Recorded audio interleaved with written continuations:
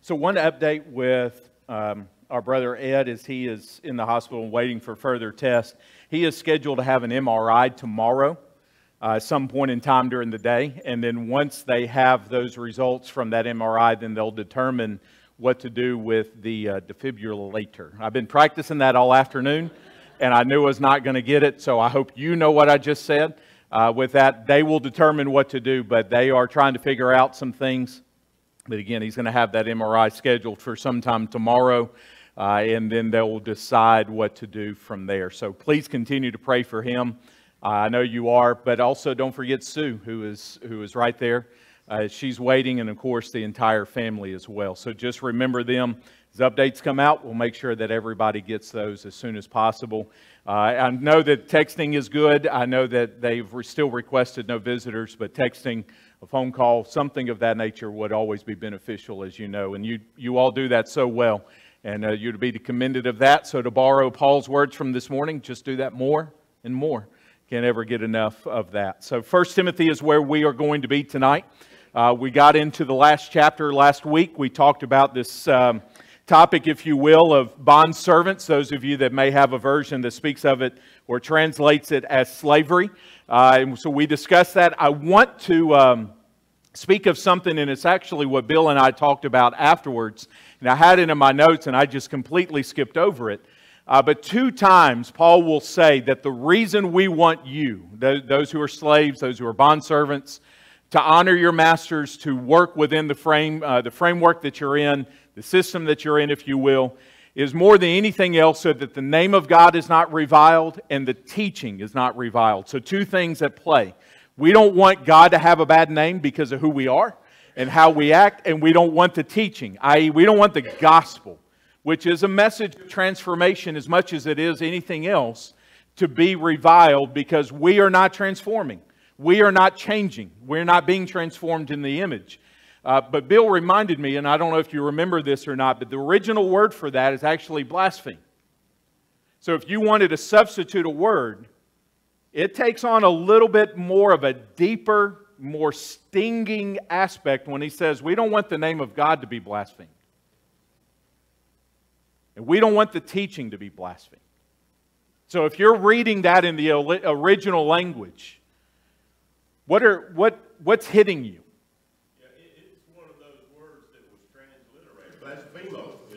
Yes, yes, just like baptism. Uh, it's transliterated. We made it into something else and we realized that it, would, it fell short. So we, we used a word in our English language, revile, but we lost something in that. It's one of those where we lost that aspect of it. Uh, go ahead, Adam. One of the things about the name of God, the teaching of God, is the Jews understood not even to speak God's name. Okay. And even when they wrote it, they were careful not to even write the whole name out correctly. Good point. That was blasphemy. So when Jesus is doing things in the name of God, saying he's his son, they view that as blasphemy. Yes. So we remember that. I, and that's one of the things that my mind went to was that Jesus is accused of blasphemy. And even Jesus will admit blasphemy, blasphemy is the unforgivable sin. And blasphemy is not the uh, taking the Lord's name in vain curse word as we would think. It's associated with disbelief. And it makes sense. You cannot be forgiven of disbelief while you're in disbelief. Uh, the one that, again, Hebrews 11 6, you come to God, you must believe that He exists. So the idea of blasphemy is that you don't believe. An individual doesn't believe. I blaspheme the name of God, number one, because I don't believe. But then the other is then just the life that goes with it. And then the Jews took it to a little bit of a deeper level. We're not even going to write the name. We're just going to come up with something else and find that out. Uh, if you're in the if you're in Ephesus and Paul is reading, uh, this is being read from a pulpit, and you hear in your language, don't allow the name of God to be blasphemed. Don't conduct yourself in such a way where the name of God is blasphemed and or the teaching is blasphemed. What are what's hitting you in your heart and in your mind when you hear that? Don't curse God. Okay, could be curse. Denying God. I'm thinking more like if the way I behave as a slave, if my master is going to blaspheme God because of my behavior. Yep. That's, that's a whole different picture. You know, in as an individualist, I tend to want to say, oh, that's my master's problem, not mine. But what he seems to be saying is, as a slave, if you create a master to blaspheme God, you have a problem. Yep. If you, even in the context of slavery and servanthood, if your attitude and actions, and this, it's the marriage of the two, if attitudes and actions are so poor and so bottom dwelling, if you will, that your master comes to the point where he would rather not believe in the God that you say to serve, then that's, that's terrible news. That somebody doesn't believe, not because they don't have the evidence, but somebody doesn't believe based on how I've acted in this particular place. Adam? Okay. Thinking about Ephesus itself, remember what Paul was accused of in blasphemy Artemis, Yes. the statue of Artemis. And so they were ready to tar and feather him just for that. Yep. So take it to a great extent, when we're talking about our God, and our God is far greater. Yes. than Ephesus, is, uh. Sure, it is. Absolutely, you're right. So in, in, in Acts 19, when he's in Ephesus and a riot starts because he's taking away the belief of Artemis and transferring it, if you will, to the belief into the one true God, people are going to riot, and they do. Uh, and it's only by providence that somebody intervenes and says, hey, just continue. If, if it's of God, it'll continue. If not, it'll die and go away, uh, which is some wisdom for us today when things, when things happen. Y'all notice things happen and then they go away? Y'all notice that in our country? What do we find? There's something to be aware of in that. Uh, what is and isn't of God. But the, the reason I wanted to start here and this is for all of us, from the youngest of us that understand what I'm about to say to the oldest of us. We don't need to be responsible. We cannot afford to conduct ourselves in any aspect of our life to where somebody ends up not believing. And it's possible.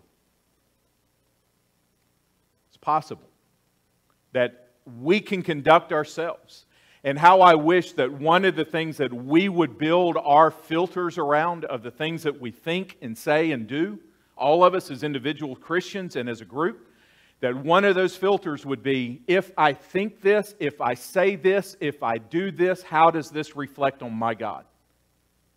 How does this reflect on Him? Uh, you've probably heard it, those of you that are older, don't bring reproach on the church. That's the same concept. Don't bring reproach. Don't bring reproach on the name. Influence matters, attitude matters, who I am matters, who I treat my if I'm an if I'm an employee, who I, how I treat my employer, if I'm an employer, how I treat my employee. All of this, there are no excuses for me to act in such a way, in a continual way, that somebody ends up not believing. That's how serious this is. Paul says, You conduct yourself. Here are the reasons. And two of them don't let God be blasphemed because of you, and don't let the gospel be blasphemed. Go ahead, Gary. I've got a problem in getting from where we were to where we are. Okay?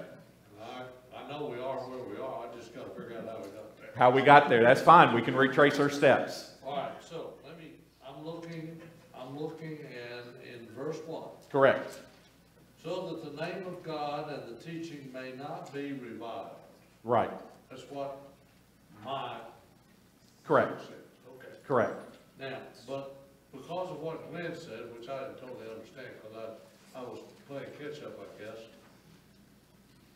Now we're saying that's blasphemy. In the original language, instead of being translated as revile, the more accurate translation would be blaspheme. So that the name of God is not blasphemed. And, and the original language, when are you talking about that translation?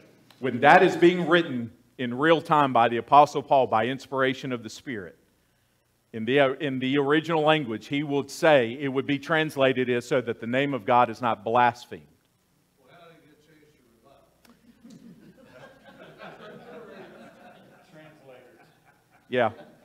We got to we got to the point part of our English language. This is just language in general. If you know anything, if any of us know anything with language, and I and English is just as complex or one of the more complex languages there is.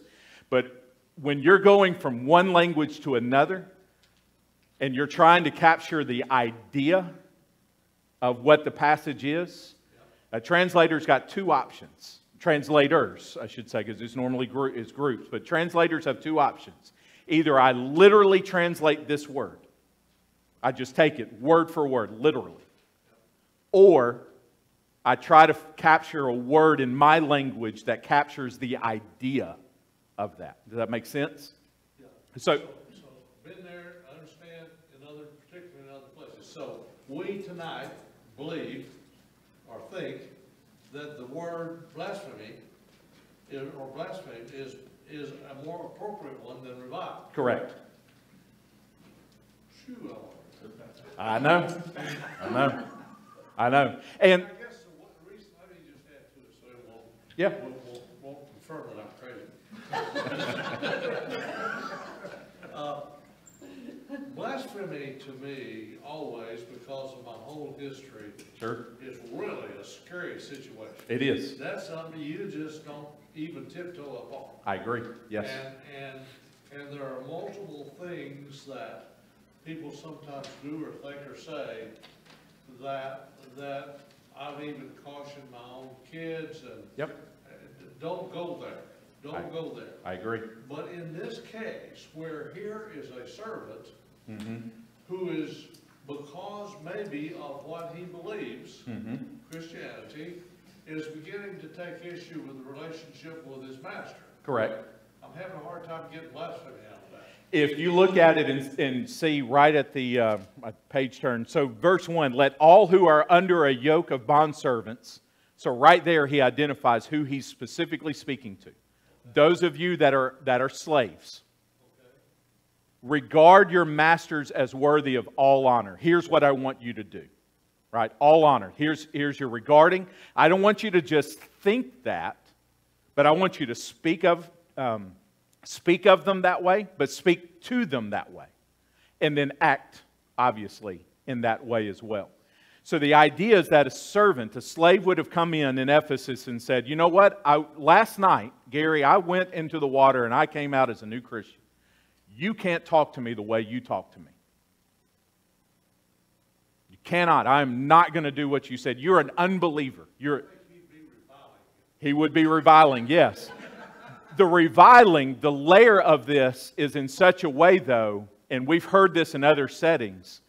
Can you believe that so and so says that they are a Christian? Have you ever heard somebody else say that in your workplace? I can't believe that somebody who said that they were a Christian acted this way. You've heard that before? It's the continual. It's not a one time, I just lost my patience and I just lost control. That happens to everybody. This is somebody who goes in and says, I have one master, it's the Lord, and He's the only one who can tell me what to do. And I am not going to listen, I'm not going to do it, to the point where verbally, I verbally start, Who are you? It, that makes sense? But so, so the reviling, yeah. So the reviling, so going back to a moment for the translating, what they captured when they translated and put it into English as revile, that's what they're capturing. It's not the end result of the reviling, it's the act of reviling itself. Does that make sense? And what Paul does in that original word, what, what the Spirit wants to communicate, is that it's actually all of it. Because if you do that enough, if we have that attitude enough, that master is going to get to the point and say, But you, went, you said you had to go to church, but you're acting this way here? What? Why would I want to be part of that? Why, why would, so the blasphemy, and by the way, it's, as a side note, um, and not to put Justin on the spot, but we've talked about this some, is that it's multi layered. So bel non belief is an aspect of it, but it's also to take what's attributed to God. This is what they did with Jesus, Adam, is to take what attributed to God, Jesus is doing the work of God, and actually attribute it to the work of Satan. That's what they're doing.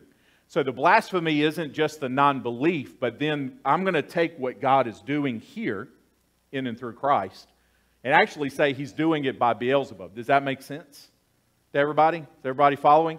And then, if you want to go to practical layers, it would be what Jack said cursing God, using the name in vain in ways that hopefully we would never use them. Uh, hopefully, we wouldn't utter those types of things. This is a multi layered, multifaceted thing just captured in one word, if you will. English just doesn't have a good word for that. Uh, maybe give you more than what, what you were looking for. no, no, no, you didn't drag because this is, this is where the rubber meets the road for us. Because if we haven't been there or are not there, at some point we will work with somebody or under somebody that is just going to test us. And, and in that sense, above it all, is you maintain your composure because it's not about how you are. There's still an element. Don't get me wrong. Don't be a don't be a um, doormat. You know, there's respect, but there's also this Christ who, when he was reviled, did not open his mouth. And the reason is is because I would much rather take this and maintain an open door for the possibility of the gospel than I would anything else. But that's that's the practical, that's the rubber meets the road. Because you may be working with someone right now who just is terrible in their own way. So I, a lot of people were raising their hands, so I know you, we'll start with you, Bill. So he ties in, he puts this up didascalia in there, so he ties in teaching. It's not just the name of God and your teaching. We are teaching by example. Our manner of life is teaching Yes.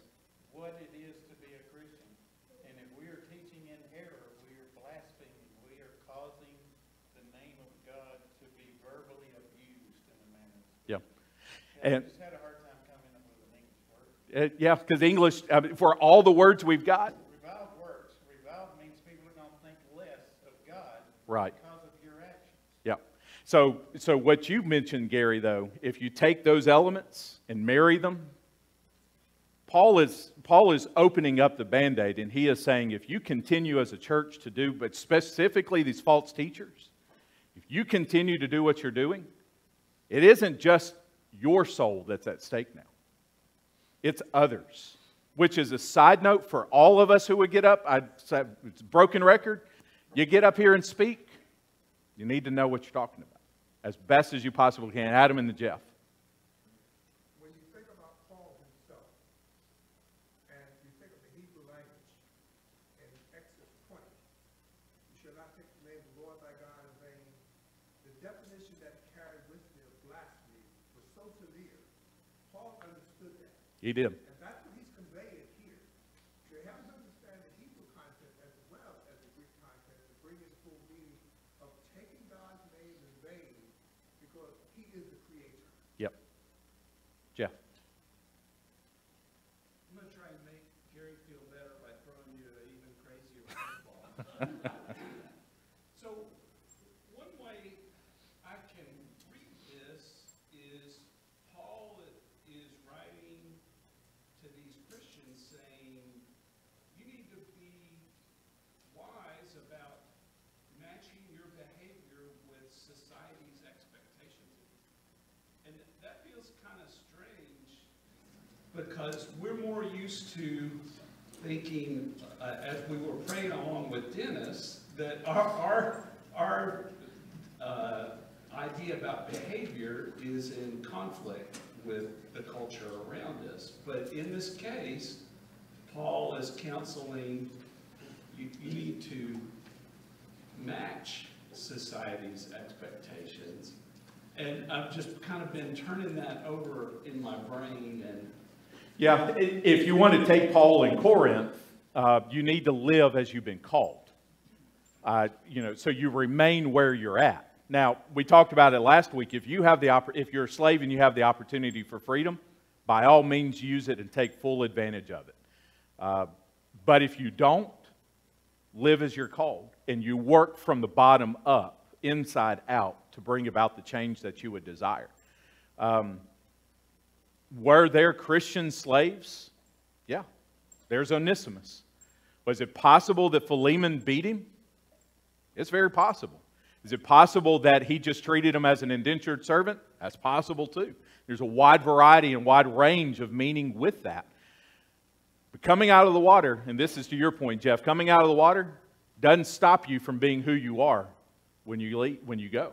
It doesn't stop you from being a man, doesn't stop you from being a woman, doesn't stop you from being an employer, doesn't stop you from being an employee, doesn't stop you from being a father, doesn't stop you from being a mother, doesn't stop you from living within the confines and the boundaries of the current society. What it does do is it gives you a different approach in how you enter into that society. And here's the maximum part of that society to bring the gospel to that society. Even, even if it's, it's managing the expectations of it, if you will. Tom? You know, he doesn't say here, going back what you're saying, give honor to those that deserve honor. Give wor- you know, give worthiness to those that are worthy. He says you be the right person in every situation, whether you find yourself in a bad situation or a good situation. Yep. You always be what's right so that you won't cause anybody to have disbelief and Correct. bring repute, essentially, on the name of God and the teaching that you have obeyed. Yep. So no matter what situation or environment or good bondservant, bad bondservant, you bring glory and honor to the name of Christ. Yeah, that, yeah, it is, because that's the goal. That's the purpose, right? To live for Christ, to die is gain. There's a lot of purpose statements. Now, again, if the situation is bad, if the workplace is bad, no one is saying just suck it up and deal with it. No, if you can change it, even if it's just changing from one place to another, that's fine. There are, use your wisdom and deal with that. But until then, until that happens, there is no excuse to change in such a way your treatment of another person. Even your master is worthy of all honor by virtue of who he is. Is his behavior? No. But you're not going to change his behavior by screaming and yelling and disobeying. How's behavior changed? Inside out. By what? The gospel. And if the gospel doesn't have free rein, if I don't consider myself as a vessel, and this is, this is a view that Paul took of himself in Corinth, I'm just a vessel, just an earthen vessel. You were raising your hand and then Harry. My thinking was a lot like Tom's. It, it's a different paradigm. It's not a paradigm of hierarchy. The paradigm of hierarchy is a worldly paradigm. And the spiritual paradigm is we're all the same and equal before the Lord. The Lord wants all of us to be saved. Yes. No matter where we might be. And what's interesting listening to you is the, I'll call it the irony. The irony is the slave would tend to want to revile the master, but the, and, and hope at the same time he wants to be respected as a person, mm-hmm. right? I'm just as valuable as you are, even though I'm a slave. You should respect me.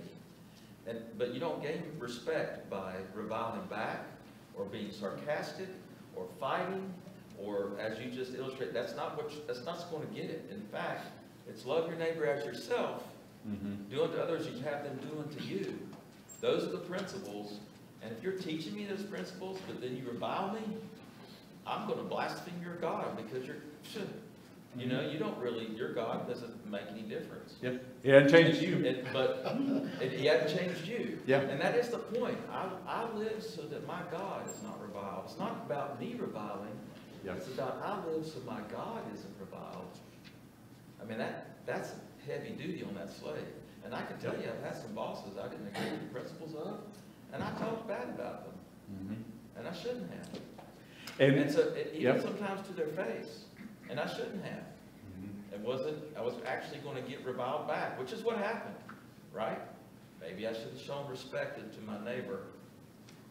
So, he's, a- he's not my boss, he's my neighbor. It's a different paradigm. It's a neighbor, and it's and even further, it's one for whom Christ died.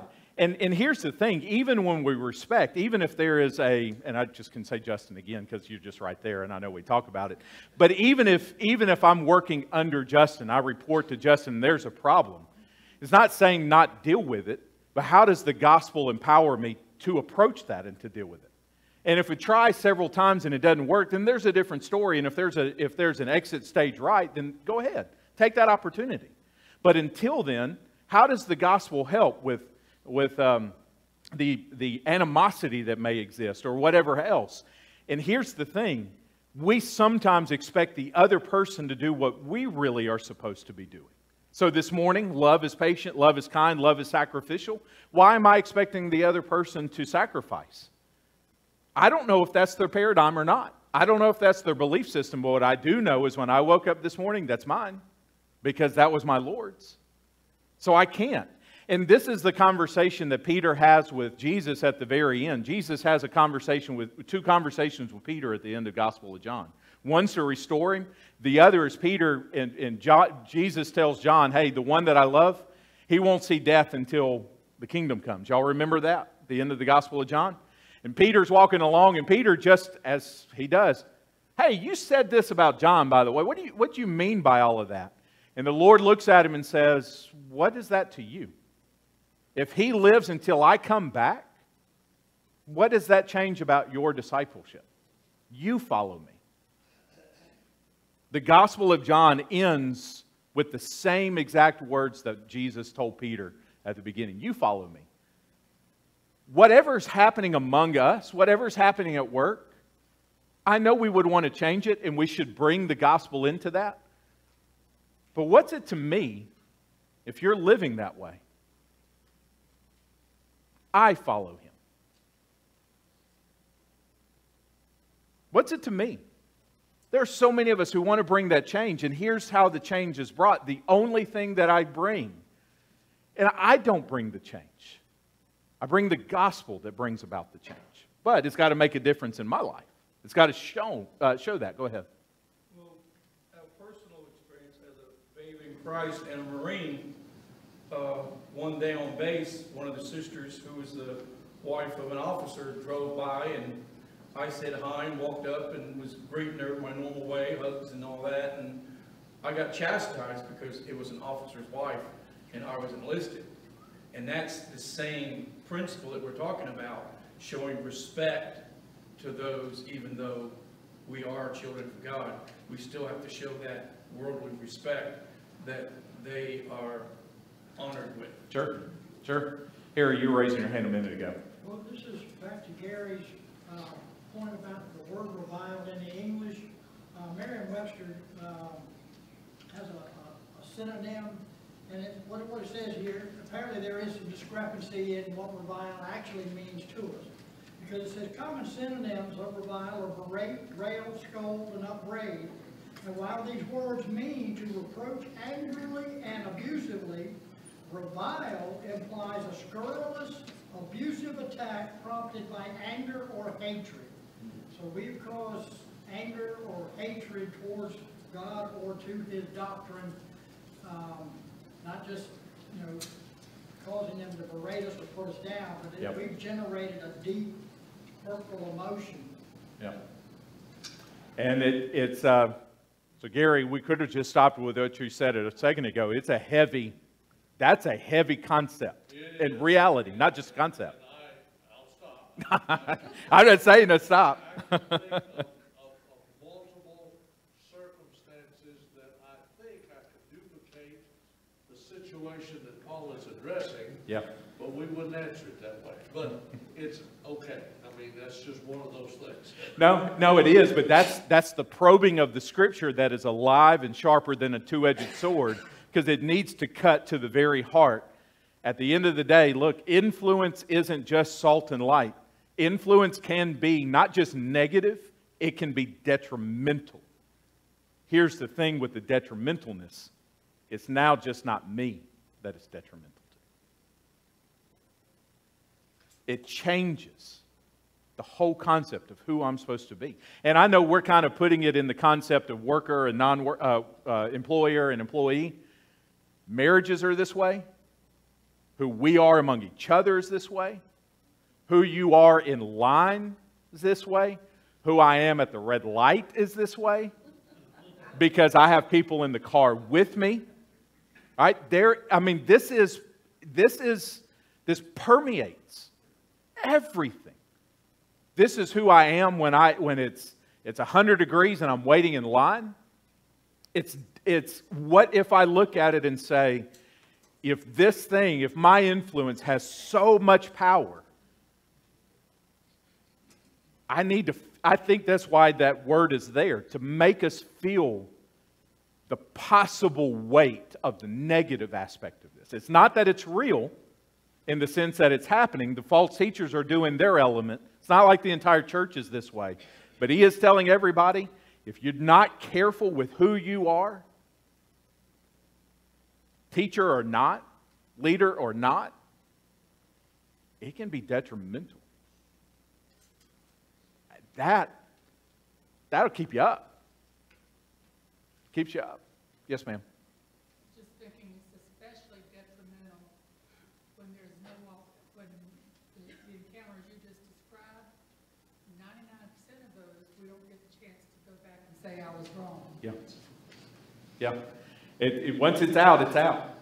And, and you work almost five or ten times, not even twice as hard, but ten times as hard just to make up because that, for whatever reason, it's just like our little ones. All the bad stuff, it sticks like glue. And all the good stuff, you'll wonder what happened to it, right? It's the same thing, though. One negative encounter with somebody who is a so called Christian will dictate the rest of an individual's life and it will undo the work of 10. If, if, if, if you've been around the block half the time, you, you've heard that too many times for real. Yes. Well, when I was eighteen years old, I observed so-and-so. It's horrible to hear those stories. It is. It is. They're real. It is, and they're real. Uh, and it's it. And here's the thing: Paul says it's not just it's not a them. What if me? You were raising your hand a second ago.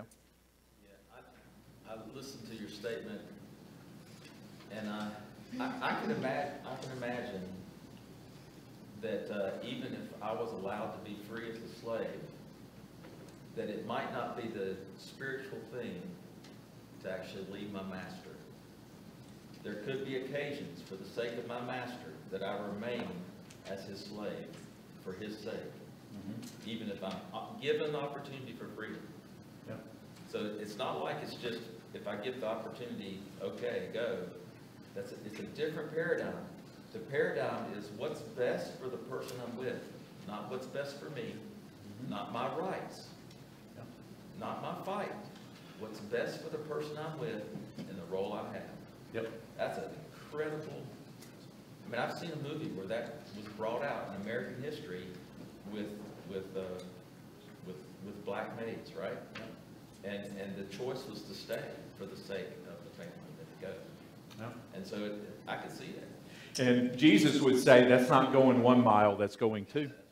That's the second mile when you have the opportunity to stop and you go, you go a different, um, you go further than what's expected. Go ahead. I'm sorry. This might help Gary or make it worse. Blasphemy is used just above this. In uh, Timothy 2, um, there is a place where he's talking about Hymenaeus. And he says, by rejecting their faith and good conscience have some shipwrecked the faith, among whom are Hymenaeus and Alexander, whom I've delivered over to Satan so that they might be taught through punishment not to blaspheme. Yep. And the translators chose blaspheme there Yep. instead of revile. And that's chapter 1, verse 20, if, if you're looking at it. But no, you're right. They chose, and, and that is, so that's the connecting. And there are real names now. And again, notice, notice the imagery, and we covered that. Here are two men. Here's what they're doing.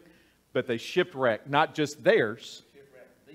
They've shipwrecked all the, yep, yeah. And just think about that. And you, what, do you need an image of a shipwreck? Probably not. You don't need a picture. You know exactly what that is. Uh, the stressing, uh, and we've talked about it for 45 minutes. I expe- I wasn't expecting that, but that's good. because it's, it's this. It, it is the age old but most powerful, one of the most powerful things. Go ahead. One of the things that I think is interesting is even if this incident happens, individual that feels like that person who is a Christian has caused them not to want to be one, they are still responsible or held responsible by God to seek Him. Whether they want, to- whether they do or not is, is only on them. it it doesn't take the burden off of No. the person that, that did the wrong that caused it, but they're still, because, um, my story would be that when I was growing up, that very thing, I thought, that person says he's a Christian, but there's sure a lot of alcohol going through him, you know, and on Sunday morning, he's all against it, you know, but yet on Saturday night, he's all full of it. Well, thankfully, I didn't let that influence me totally, that he's not gonna keep me from going to heaven. I'm still willing to go, and maybe I can turn him around, but that didn't happen. But anyway, like I say, there's, there's that responsibility of individuality, I guess is what I'm trying to get across. No, there is. And, No. And that while we do things, we have to be cognizant of that, how they may affect people, and how it may turn them off, or just because we we're for something or against something, even that in, in and of itself can turn people off. Well, no, it, it is. And, and that's the thing. I mean, if somebody doesn't believe because they can't handle what God's word says in terms of truth, then the quarrel is not with us. And that's something that we have a problem with, that somebody doesn't believe because this, the truth is that. Well, it, that is such, just something that that's, that's there. And that's, that we don't need to lose sleep over that. However, you're right on two aspects of it. On one, it doesn't absolve an individual of, their, of that journey to faith, if you will, and hopefully obedience to the gospel. Uh, on the second, and the second, though, what Paul would, would emphasize is what we've emphasized all, all evening. Be aware of who you are, because, and, and this is where I wanted, to, I wanted to end with this. Paul will say for the fifth time in six chapters, teach and urge these things. There is a sense of urgency. There is no time to waste on a poor, pitiful influence that is detrimental to somebody. No time. You mentioned this in your prayer that we would be motivated to work. There is a sense of urgency, and it's not just a fix, but there is a, there is a whole eternity that is at stake. And for some, not for all, but for some, they've made an eternal decision based on the influence, or quite simply, the lack thereof, of a Christian. Now, think about that, friend. That's a long time to reflect on how influential I was to somebody in said scenario. Adam, real quick, and then Gary. Context, the context of verse one is Paul emphasizing that that master that you serve is worthy of honor. Yes. And not only are you insulting that, that master, he's a Christian, you're insulting God. Because you're a Christian. Using the microphone, could you repeat Bill's, uh, scripture? It was, it was 1 Timothy 1, verse 20. Okay. That's all. And that's what, it's the same word that's translated as revile in chapter 6. It's the same word. They just went with blaspheme instead of, yeah. Yep.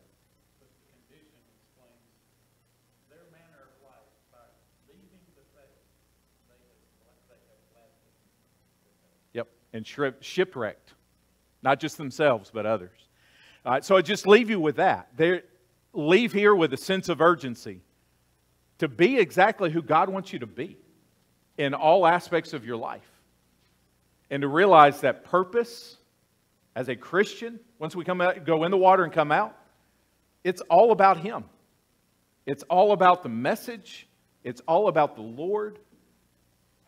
And does that mean that we're going to meet some things that we would wish to change like, like that? Yeah. But it's not going to happen. So, how can the gospel translate into this? What does it look like for me to sacrifice? Fill in the blank. So that this other person not only will see Jesus, but perhaps, just perhaps, will ask one day, Tell me about him because I see how you act, and I would have acted in a lot of a different way. That's powerful stuff right there. Just think about it. Let's have a word of prayer. If you have not had an opportunity to partake of communion, it's left in the hallway to my right, your left. Somebody will meet you there, and you can partake of it together. Let's pray. Father, you are good to us, and we're thankful. In all of this discussion tonight about um, influence and really the internal implications, not just earthly implications, but even more than that, the eternal ones. Father, we pray that we will sit for just a moment and reflect on who we are today and all the aspects that make up our life and how our influence has been met, even if that influence is just within our home with our spouses, our children.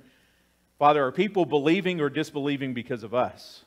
We pray, Father, that we conduct ourselves in such a way with our words, with our actions, with our treatment of other people, uh, believers or not, that that is beside the point, that we will conduct ourselves in such a way that reflects Jesus. That's the one that we say that we follow anyway. That's the one that today we have given time this morning and time this evening to worship and to give praise and to give honor. Father, help us to not leave that honor here in this place, but to bring honor to you in the workplace, in the home place, and wherever else we find ourselves. And perhaps, just perhaps, that and a combination of other things will soften the heart of an individual who wants to know more about Christ. And that gives us an opportunity that instead of bringing reviling, we can, we can bring glory. We pray, Father, that we will be the vessels that you would have us be, that we would have the humility, the servitude, that we would have the love to do that for the person that may be treating us in ways that we don't expect to be kind, to be good, but they're doing it. We pray, Father, for the fortitude to persevere and to change them by bringing them into contact with the good news of Jesus. Father, we pray for our brother Ed as he, he's in the hospital facing numerous things, things that are unknown to doctors and to family at the moment. Know that an MRI, that if, if it be your will that we have tomorrow, an MRI is scheduled. We pray for not just good results, but results that would, would give wisdom to the doctors on how to approach what's going on with him. Until that time comes, we pray, Father, that you will, you will bless them as a family that you will love them, that you will support them, that you will carry them through this, and that you will be with them, and that we as a family would continue to rush to their aid as much as we can to support them, to encourage them, and to love them as well. Father, we thank you for this day and all that is meant to us. In Jesus' name we pray.